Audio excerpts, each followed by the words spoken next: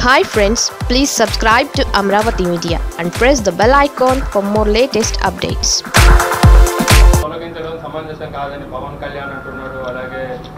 Pawan Kalyan ఉన్నదంటే ఆయన paid worker. Chandrababu ఏం చెప్తే చెప్తుంటాడు ఆయన. ఆయన్ని కూడా మనం ద- ఎగ్జాంపుల్గా తీసుకొని మాట్లాడితేట ఇంకా ఆయన కన్నబాబు బీజేపీ ఆయన గురించి మీకు బాగా తెలుసు. కన్నా లక్ష్మీనారాయణ. ఆయన పాపం పార్టీలో చేరేదానికి బయలుదేరినాడుక ఆయన గుండె నొప్పి వచ్చింది మళ్ళీ ఆయనకి ఆ ప- ఆ పదవి ఇచ్చే లోపల అటు వెళ్ళిపోయినాడు. ఇప్పుడు బీజేపీ వాళ్ళు బ్రహ్మాండంగా చేస్తుండ్రు ప్రధానమంత్రి బ్రహ్మాండమైన నిర్ణయాలు తీసుకుంటుండ్రు జగనాన్ని బ్రహ్మాండంగా పొగుడుతున్నాడు. మరి లక్ష్మీనారాయణకి కన్నా లక్ష్మీనారాయణకి ఏమి ఎమ్మెల్యే ఏమి లక్ష్మీనారాయణ? నాతో కూడా ఉండే ఆయన ఆయన కూడా. నేను ఎమ్మెల్యే ఉన్నా. ఇప్పుడు ఆయనకి ఏం బాధ వచ్చిందో ప్రతి ఒక్కరూ జగన్మోహన్ రెడ్డి పైన పడుతుండారు కానీ ఆయన చేసే మంచి పనులు ఒకరు కూడా చెప్పటంలా ఇండ్ల స్థలాలు ఇస్తానని చెప్తే ప్రతి ఒక్కరికి ఇండ్ల స్థలాలు ఇవ్వాలని ఒక డెసిషన్ తీసుకుంటే దానికి కోర్టు. ప్రతి దానికి కోర్టు. ఏది మంచి పని ప్రజలకు చేయాలనుకుంటే కోర్టుకు బాధలే. ఒకవేళ మొత్తం క్యాన్ చేసామంటే కూడా చేసేసి ఉంటాడో ఈ కమిషన్ తీసేసినట్టు ఇంక మనం ఏం చేయాలా? మనం కనీసం డిపాజిట్లు వచ్చే పరిస్థితి కనబడలేదు అనేది చంద్రబాబు బాధ. ఇది కరోనా టైంలో అది వైఫల్యం ఏంటండి అడ్మినిస్ట్రేషన్ అండి. చక్కనే అడ్మినిస్ట్రేషన్ కావాలి ఇప్పుడు.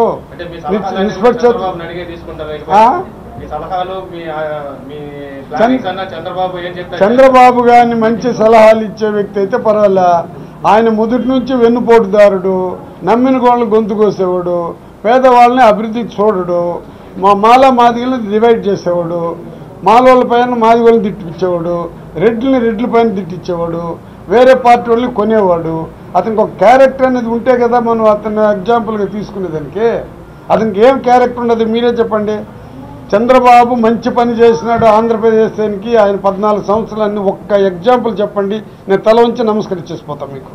ఒక్కటి ఇది చేశాడండి.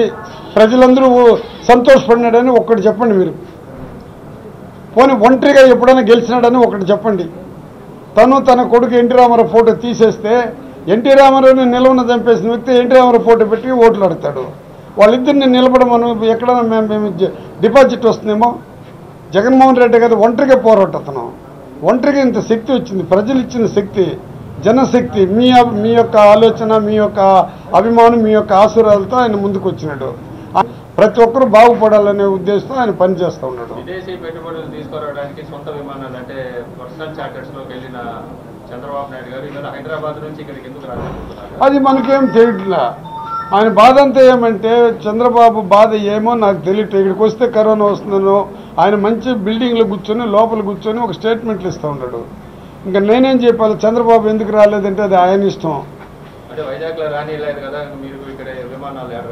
ఆయన ఎప్పుడండి మంచిగా తిరిగేటప్పుడే జగన్మోహన్ రెడ్డిని వైజాగ్లో ఏ విధంగా చేశాడో మీకు తెలుసు. జగన్మోహన్ రెడ్డి ప్రజల కోసం ప్రజా ప్రజల సంకల్పయాత్ర చేస్తే ఎన్ని ఆటంకాలు చేసినాడో మీకు తెలుసు. చంద్రబాబుని గురించి కూడా ఇంకా మనం ఆలోచిస్తున్నామంటే అది నాకు తెలిసేది చాలా నాకు తెలిసేది మంచి పద్ధతి కూడా కాదు. మీడియా వ్యవస్థ మొత్తం మీడియా వ్యవస్థ ఏ వ్యవస్థ నీకే తెలుసు. మీడియా అనేది ఎవరో మీకే తెలుసు. ఆ మీడియా వాళ్ళు ఏ విధంగా చేస్తుంటారో ఆ మీడియా వల్లనే అతను ధృతరాష్ట్రం మాదిరిగా మీడియా తయారైంది అందువల్లనే అతను పతనం అయిపోయినాడు అతను ఎన్ని తప్పులు చేసినా అవి ఎల్లో మీడియా బ్రహ్మాండంగా చూపిస్తూ వచ్చినారు కాబట్టి ప్రజలు తిరస్కరించారు. ఎనిమిది సంవత్స ప- ప- తొమ్మిది పద్ పద్నాలుగు సంవత్సరాలు పోయి పోయిన ఎలక్షన్లు అయితే చంద్రబాబు ఏం చేసినా దేవుడు దేవుడు అన్నాడు. సెంట్రల్ గవర్నమెంట్ ఇచ్చిన దాన్ని అంతా చంద్రబాబు బాట అన్నాడు చంద్రన్న బాట అన్నాడు. ఇప్పుడు ఏమంటాడంటే సెంట్రల్ గవర్నమెంట్ ఇచ్చింది డబ్బు అది జగన్మోహన్ రెడ్డి వాడుతున్నాడని మాట్లాడతాడు. అతనికి ఒక న్యాయం మనకు ఒక న్యాయంగా ఫీల్ అవుతున్నాడు ఆయన. ఆయన ఏ రోజు ఒక ఖచ్చితమైన మాట మాట్లాడి ఖచ్చితంగా ఇంప్లిమెంట్ చేసింది ఒకటి చెప్పండి.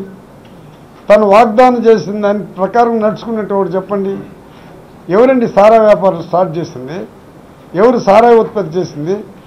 మీరే చెప్పండి మన జిల్లాలో ఎవరు ఫస్ట్ స్టార్ట్ చేశారు?